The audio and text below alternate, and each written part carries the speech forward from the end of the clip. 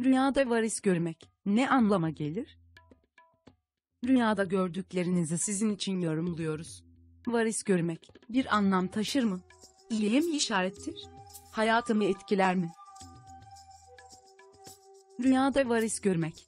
Varis, rüyanızda ayaklarınızda varis bulunduğunu, bu yüzden bir hayli rahatsızlık duyduğunuzu görmeniz, işlerinizi yürütmek için daha çok ayakta bulunmanız gerektiğini, başka bir kimsenin varisi olduğunu görmeniz ise, yoğun çalışmalarınızın sizi sonunda oldukça hırpalayıp, devamını, Rüya Tabirleri kitabı.com'da okumak için aşağıdaki bağlantıya linki tıklayın.